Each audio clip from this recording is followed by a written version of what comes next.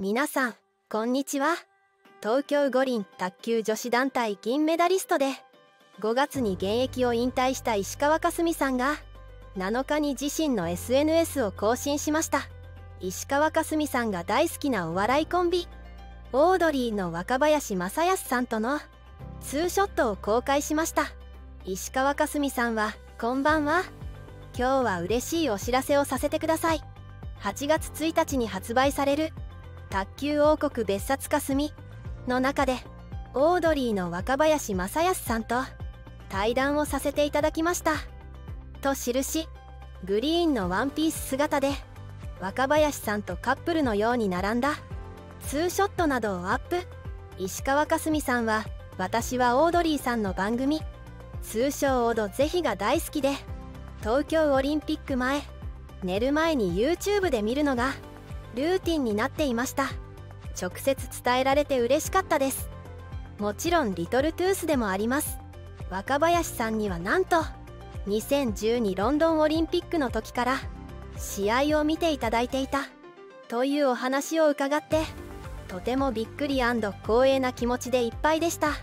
あっという間の最高に楽しい時間でした。若林さんとてもお忙しいスケジュールの中貴重なお時間ありがとうございましたと綴りました。この投稿には結婚報告かと思いました。お互いファン同士の対談なんて素晴らしい。びっくりだよ。結婚の知らせかと。などのコメントが寄せられました。石川佳純さんといえば現役時代から中国でも人気が高かったことでも知られています。5月の引退会見で同国のファンやライバルで友人の陳務に対する感謝の気持ちを述べたことからさらに中国人ファンの心をつかみました。新たな一歩を踏み出している石川佳純さんの今後について中国メディア新郎体育など複数の媒体が報道しています。石川佳純さんが尽力しているサンクスツアーについて中国でも行うことが決定的さらに中国協会の熱烈なオファーで卓球アンバサダーに就任すると伝えています。これらの報道によるとアンバサダーとして卓球の魅力や楽しさを広める役割を担うといいます。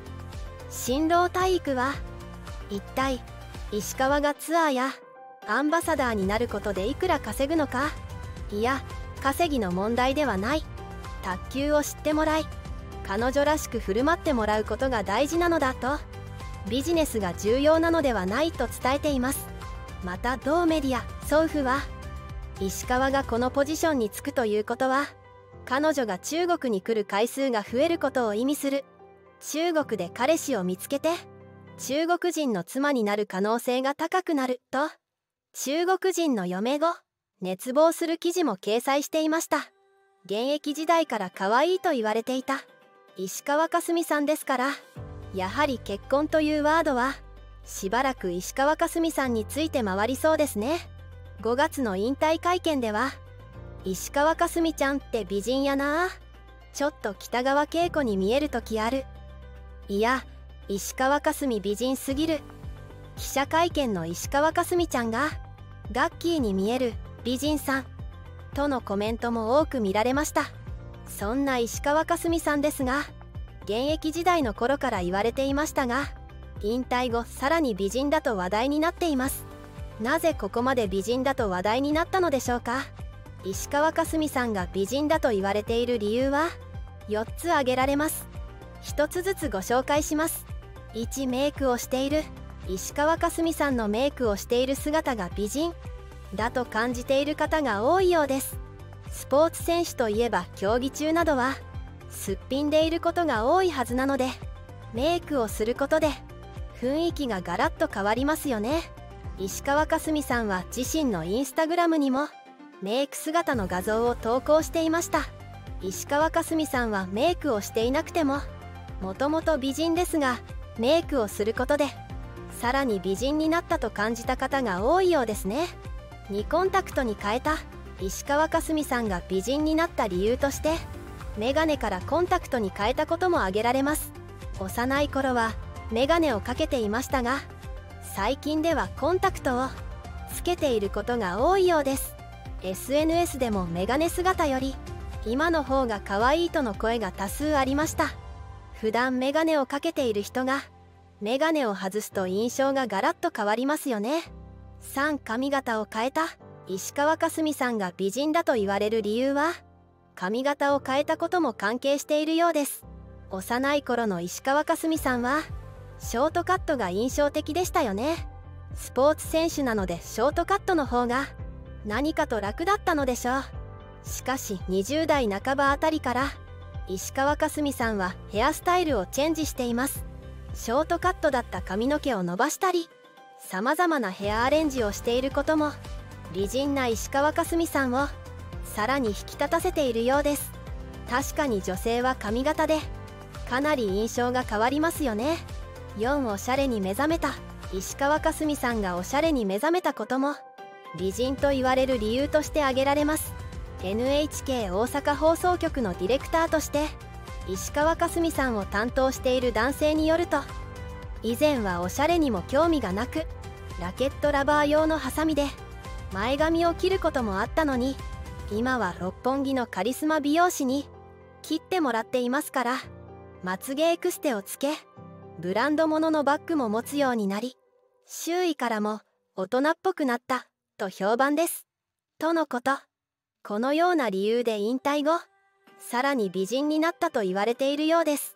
そんな石川佳純さん引退後の活動として今のところ大きな仕事はなさそうですが今後どのような活動を行っていくのでしょうか。引退会見の際には食への思いを語り体を作る一番大切な一番基本となる部分だと強調し全国の農家へのメッセージとして日本の美味しい農畜産物をたくさん食べて頑張ることができたと感謝を語っていたこと。また JA 全農所属の選手として国産農畜産物の PR などにも取り組んできたことから農家に転身するのではといった噂もありました。一体どうなんでしょうか？ここで引退後の石川佳純さんの現在の収入についてご紹介します。石川佳純選手といえば卓球選手としての実力派は世界トップレベルですが何といっても綺麗で可愛いですよね。やはりその美貌を生かしてテレビ出演が増えることは間違いないでしょう。では石川佳純選手の収入源から探っていきます。収入源 1CM 出演。なんといっても収入のトップは CM 出演ですね。選手時代はもちろん T リーグのお給料や国内外の大会での獲得賞金など卓球関連の収入が大きかったのですが引退後はそれらの収入が一切なくなるので CM 出演を増やしていくと予想できますね。収入源にスポーツニュースキャスター出演。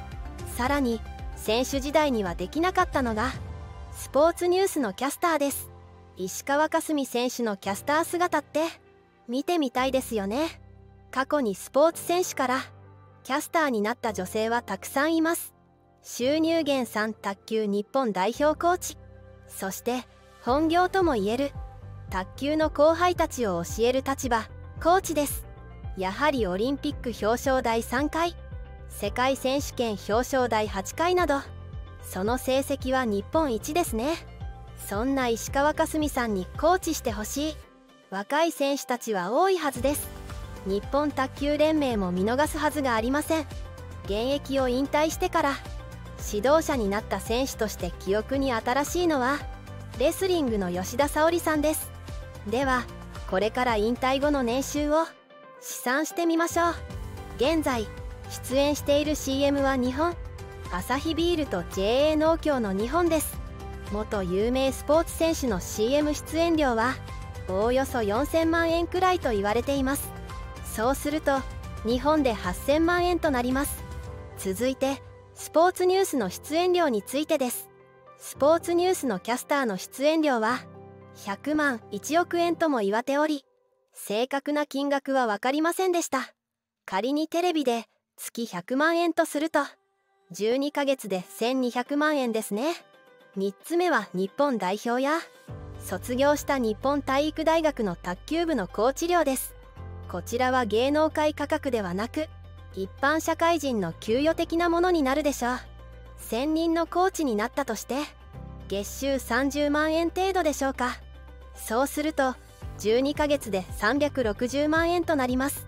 では以上の3つの収入を合計すると石川佳純さんの年収は CM8000 万足すキャスター1200万足すコーチ360万波9560万円となります。